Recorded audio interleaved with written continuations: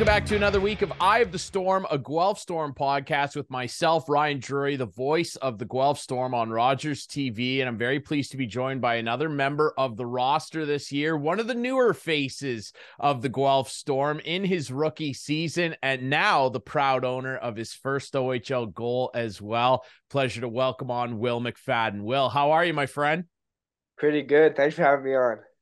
I appreciate you doing this. Well, how's the experience been, man? Your rookie season in the OHL, you're playing really well. You're getting a lot of ice time, and of course, scored that first goal. We'll talk about that in a minute. But how's the overall experience been so far? Yeah, it's been amazing. Uh, moving down to Guelph and just you know familiarizing myself with the team and the coaching staff and learning uh, how to play the systems. It's just it's it's been a really fun experience. What's it been like, you know, going from obviously playing U16 hockey last year, and we'll touch on that too, because you had a fantastic last year of U16. But what's that jump been like? Has there been anything really surprising in terms of the amount of detail? Is there a big difference there between the jump from U16 to the OHL that you've seen? Yeah, definitely just the time and space you have with the puck. It takes uh well, for me, it's t- taken a lot of video and uh, help from the coaching staff and just watching different players on our team uh, play with like not as much space and time as I've I've been used to in U sixteen. So I think that's the biggest jump so far. Have you had kind of a a wow, I'm in the OHL moment so far? And and if you have, what was maybe the first couple where you said, "Wow, I'm I'm I'm here. I'm in the best junior league in the world." Uh, I don't think I've had my moment so far, but uh, like I've got hit pretty hard a few times, which uh just kind of welcomed me to the league, I guess. But uh, yeah, not really so far. You know what? I'm not surprised by that answer, Wil, because one thing that's really impressed me about your game so far is that obviously you were drafted with a really high offensive ceiling. Again, you had a great last year of U16. But the thing that's really impressed Mark Perry and I up in the booth about you is that you haven't been out there fishing for points. You've been going out there and just doing what the coaches tell you, putting your nose down, working hard. Uh, you're killing penalties, which is a rarity for a rookie. Like, we're really impressed with how well rounded your game's been. You seem like nothing bugs you out there. Like, where's that come from? Yeah, my uh, coach um, throughout my whole minor hockey has been the same. Mike Fruja. He just got a the assistant job over in Oshawa. Um, he uh, he's been really keen on systems and uh, kind of just familiarizing with stuff that'll be at the next level and uh, knowing how to play a well-rounded game, not just focused on offense. And he really made sure that uh that I knew how to play a well rounded game, not just like my offense, but he made sure I was really good on defense also. So that when I make the jump to the next level, um, it'll be easier for me to kind of penalty kill and uh, be trusted in the defensive, uh, like when you have to kill penalty or when you have to take a defensive draw or know your responsibilities in the defensive zone. Well, it really shows. Like I said, I mean, Chad Wiseman's trusting you out there on the penalty kill, and you're playing a, t- a ton of center, which is your natural position. Which sometimes you see kids your age, and you see it in the NHL level too. They'll shift guys that play center and make them play wing, but not you. You've been right there playing your natural position this whole time. How's that feel to have that level of confidence from your coaching staff already? And speaking of the coaches, how's your relationship been so far with Chad? Yeah, uh, knowing that the coaches have um, a good amount of confidence in me really helps my game and kind of my decision making because I know uh, they'll have my back no matter what kind of decision I make. And uh, yeah, my relationship with all all of our coaches are pretty good. They're amazing coaches. They know their stuff, and I just like being able to learn obviously, you know, you, you get drafted over the summer, and I'm sure it was an exciting moment for you and your family. When you found out that you were coming to the Guelph Storm, what was that moment like? Yeah, I was very, very excited. Um, still to this day, I can't really remember the whole day. It's just very overwhelming, very exciting. Um, to kind of just start the new, mm. uh, like in my journey, the new, uh, the new opportunity, and I'm very happy to for it to be Guelph because it's just a great organization with a, a lot of great players on the team. Well, Guelph's been happy to have you. And like I said, you've been playing really well. Everybody's been really endeared to the way that you play the game. Let's talk a little bit about where you grew up. Obviously, you're a Peterborough native. I'm sure you attended a lot of Pete's games and saw some really great players come through there. What was it like growing up in Peterborough and playing minor hockey there? Because when you talk about junior hockey meccas, if you will, Peterborough's certainly one of those. The Petes are a legendary organization. What was it like for you to grow up there and play your minor hockey there? Yeah, um, just always looking up to the the big Petes we used to call them. Uh, it's it's good come from that um, from the OMHA. I really liked uh, small town. You know, basically, you know, you grow up with the same guys. You play the same like play the same team your whole your whole like minor hockey career. Like basically, ten or eleven of the guys I played when I was six that I played with my minor or my minor midget year. So, yeah, I really it's a big part of my background for sure. What was it like growing up? Obviously, learning the game. I'm sure that you can think back to a lot of people that influenced your love of the game. I'm sure your parents helped with that. Who are some people that really inspired you to chase hockey as a career at this type of level? Yeah, my father for sure. He was uh he's been pushing me to he was pushing me to play hockey for since I was a little kid. When I was like 3 and I just learned how to walk, my dad put pizza boxes on my feet to kind of make them kind of me feel like I'm on the ice. And uh, yeah, I was pushing on the chair all day in the rink or going on the outdoor rink at my cousin's house. So I'd definitely say my dad um, for the hockey part and just wanting to do really good at what I what I'm doing. I would say my cousin Tristan Jones. He's not a hockey player anymore, but uh, he was a hockey player. He wore number twelve, which I wore in minor hockey, but now he's transitioned into a triathlete He's uh, hoping to make uh, the Olympic jump soon, and he's kind of he's been my inspiration to uh, work hard at whatever I do, and he kind of showed me from a kid in a small town in Peterborough that you can you can do a lot of good things if you put your mind to it. That's amazing, man. Well, if he has the same type of engine that you do, I have no doubt that we'll be seeing him in an Olympic Games in no time. So pass on our well wishes to him obviously, you know, when you grow up, you, you, get to watch guys and being in Peterborough, like I said, I'm sure you saw a lot of great players come through town. And I'm sure you looked up to a lot of different NHL guys too. Who are some guys that you watched when you were a kid that you really thought, hey, I, I'd really like to try and play like that guy? Are there a few people that come to mind?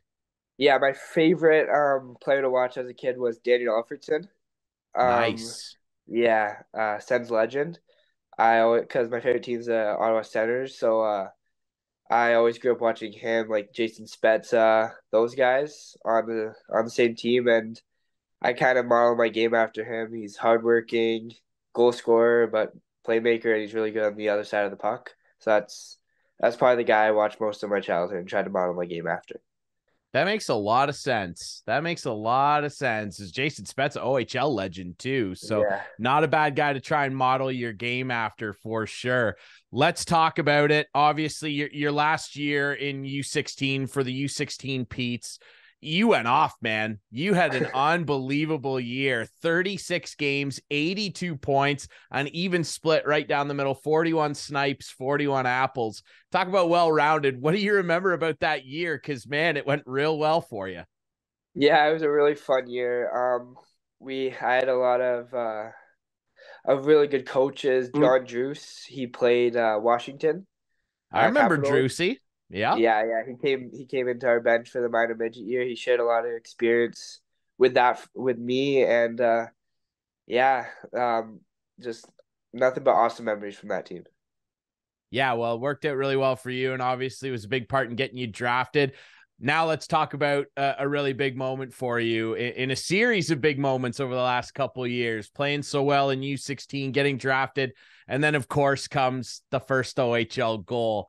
Mississauga Steelheads, you're down there for the school game that they host. Take us through the goal and what the emotions were like when you realized I got one. Yeah, um, very excited. Just monkey off my back relief. Uh, yeah, just yeah, honestly, just I was uh really excited. Uh, happy to finally see one go in. I've had a lot of chances and no luck so far, but uh, yeah, it was a really good memory. And to top it off, Vilmer scores the overtime winner, which uh, would keep it a good memory in my books. Yeah, for sure. You want you want it to be a win when you score, and and yeah. you got to have that. What's you know you bring up Vilmer, and you know I'm I'm curious. You know the rest of the guys. I've had a few of your teammates on already this year, and everybody's just raving about how close the room is and how tight knit the group is. As a rookie coming in, I mean, it's really important to feel like you're part of the group right away. Is that a similar thing that you could echo? How tight knit that dressing room seems to be, man. Yeah, for sure. Uh, it doesn't feel like a difference whether a 16 year old or a 20 year old. They're all we're all really close. Uh, and we get uh, a 16 year old get invited out to go for dinner with the boys, and yeah, they're just really close, and we know we have each other's back. So you know your leadership core. We we bumped into him last night in his first intermission interview. It's probably pretty special to not only walk into a really tight knit room, but walk into a room with a leader like Braeden Bowman. He has just been such a hard worker. I actually see a lot of of you in the way that he's kind of played out his OHL career. Such a hardworking kid. Pretty special captain to have, eh? Yeah, yeah. You see someone uh, show up every day working that hard. It's just contagious. You want to work just as hard for him because you know uh, every day he shows up, he puts in the work, and on the ice during games, he'll he'll do whatever it takes to win. And it's just yeah, it's contagious. You want to you want to have his back and get the win for him. Well, I want to ask you about some of the tools that help you get your work done out there. Do you have any weird equipment superstitions? Anything, a routine that you like, a certain way to tape your stick, lucky skates? Is is there something that sticks out? Um, people say it's weird. I like the sock tape job from toe to heel all the way. Um, I get some hate for that, but uh, no, I wouldn't say anything mm. too weird with what I do. Um, just yeah, I just try to stay loose before mm. the games and go and have fun. Obviously is a, an offensively talented kid who's obviously got a great shot 41 goals like i said last year with the u16 petes i'm interested about the stick man. What kind of twig are you rocking? What's the curve? Like it, has it been the same type of thing you've used a majority of your career? Have you switched it up a little bit? What's your what's your current weapon of choice will? Yeah i use the JetSpeed. Uh i'm at 65 flex right now so it's still an intermediate stick um, I used a P29 uh, curve, and yeah, there's nothing too special. I I like to do some kind of odd with the top of my stick. I do uh 12 wraps around, then seven, then seven again, which comes out to 21, I think. Hopefully. there no. you go. Yeah, but yeah, I just uh I've been doing that. I've been doing the wraps around my top of my stick for a while now. And yeah, that that's basically it. I don't have anything too uh too weird with my stick. Well, you're not a goalie, so I don't expect any weird stuff to to be going on too much. Uh, they're they're interesting characters. I want to ask you a little bit too, just about the team this year and how well you guys have played so far. I mean, you know, the the team got off to a really slow start last year and then had a tear down the stretch, but this year the team came flying out of the gates. Really great special teams. It's a fun group to watch. You guys are fun to cover, man. Uh, you know, how do you feel so far about how the season's gone?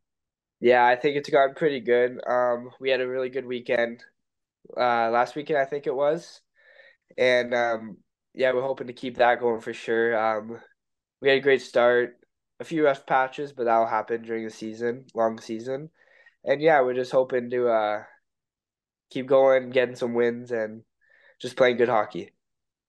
You've gotten your first taste, uh, a double dose so far. You'll get a third one this coming weekend of the Battle of Highway 7, the, the Kitchener Rangers rivalry. It's a pretty special one in the OHL schedule. What's that been like? It's it's pretty intense, eh?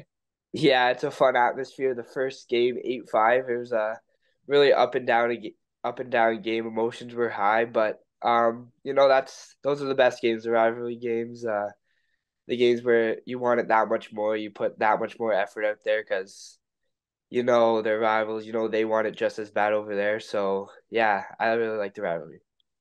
Yeah, it's a lot of fun. 8 6 comeback win for you guys in the first round. Kitchener on their teddy bear night uh, gets a 5 2 win. We'll see how round three goes. I know everybody's excited about that. Uh, talk to me a little bit about you know the city itself. You know what what in your mind in your early experiences so far makes Guelph such a special place to play and and to live as a young guy. Yeah, I would say the community uh, and the fans. Uh, every single game, it's close to sold out, if not sold out, and uh, yeah, I think we have one of the better fan group in uh, all of the OHL, and I would say that's the that's the thing that stood out for me so far. Yeah, the fans in the Royal City are pretty special, and they've been enjoying a lot of great hockey so far this year. I want to ask you a little bit too, just about some of your your entertainment preferences. I'm sure if if you've seen any of these, I I like to kind of pick your teammates' brains. You know, if if you've got control of the iPod in the dressing room, what would you maybe be throwing on music wise? I've I, have i have heard a lot of country. It seems to be a big country room. Okay, are you in that boat as well, Wil? Yeah, I'd say I'm in that room, but uh, I feel like I'd give the iPod over to Searles. Uh, okay he likes to get the music going in the in the morning for us uh, to school. Uh, he has a good. He likes the Zach Bryan, uh, Morgan Wallen, that type of stuff. But yeah, uh, I trust him with my music. Okay, well, you're a rookie on the team. You're one of the more impressionable guys. I'm going to convert you into a metal fan. Okay. I got to get one of you guys on my team. All right. All right. Well, on that note, then, if, if you could pick a goal song, a custom goal song, a lot of NHL teams are doing it for guys. If you could pick a custom goal song, what would it be? Um, I would probably say God's Country. Nice. Yeah. That'll get the fans I, going. Yeah. I think it's a good high, high beat song and still going down that country uh country lines, but uh yeah, I'd say God's country. Nice. That's a good pick, man. Some guys have had to really consider it, and you you had a pick right away. You you've yeah. thought about this, I think. Oh, that's good. Done my homework. Yes, absolutely. That's good. I like to see it. Obviously, you know, long, long bus trips at times in the OHL. Are you a big like Netflix or streamer guy? Do you like to throw a show on? And if so, is there there any particular shows that you're you're a big fan of? Um, I haven't watched a show yet on the bus. Me and uh Snellgrove usually uh just talk talk a while for uh the full trip, but uh if I had to, I'd probably put Brooklyn Nine Nine on. Uh, probably watch it like four or five times, but big fan of that show. I like that. Hey, I, I love it. I've had people tell me before that I look like Andy Samberg. I, am not sure that I'm on that train. I'm, I'm not sure. Maybe if I turn to the side, but I love Brooklyn Nine Nine. That's a good. It's a good. It's a good kickback and relax show, man. I, yeah, I like that pick. Sure. There you go. Good stuff, man. Well, I, I'm also curious. Um, I, I want to ask you. I've been asking a couple of your teammates this because I've heard these rumors. You're a younger guy. I'm sure you're still maybe playing EA Sports NHL every now and again. Okay, so I've heard that Bonesy's the best at it on the team. Can you confirm this? Uh, I haven't really played with any of the boys, but that's what the talk in the room is, so I'll have to agree with that one. Okay. Yeah, but uh, you got to yeah. challenge him then. Are are you good? You, would you consider yourself a pretty good Chel player? Yeah, I would say I'm pretty good. I like to play here and there. Um, okay. Yeah. Sorry, are you are you generally like sticking with your Ottawa Senators, or do you like to mix it up and use other teams? Uh, back in the back in like 2017 18 i liked the capitals with uh they were pretty stacked back then. Let's go. um, with kuznetsov backstrom ovechkin huge line right there but uh that was my team back then for nhl games but uh yeah i'd have to stick with ottawa. They're looking like a young core right now. They're got some good nhl cards and yeah yeah, there you go. Absolutely. Yeah, you get a couple breakaways with Timmy Stützle and you're away to the races, right? yeah. There you go. Well, yeah, I I'm curious. I I wonder if we can't put something together where we get a bunch of the guys together and have a big Chel tournament because I, I keep hearing Bonesy's the best, but then I then I've heard that Michael Buchinger's pretty good. You think you're pretty good. I, I think we need to maybe put something together with the guys and and yeah, figure this really, out once and for all. I don't think I'd put myself in the top top few for sure. Uh, I've heard we've got a pretty a few good uh, Chel players on the team for sure. Okay, we'll we'll figure it out.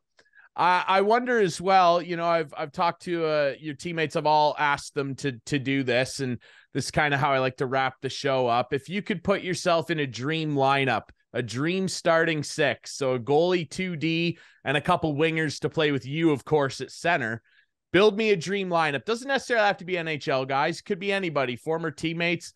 Yourself at center. Give me your dream starting lineup, Wil.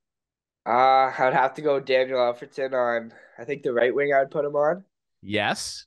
Um, left wing, I'm gonna move Jack Hughes over to the left wing. Oh, I like that.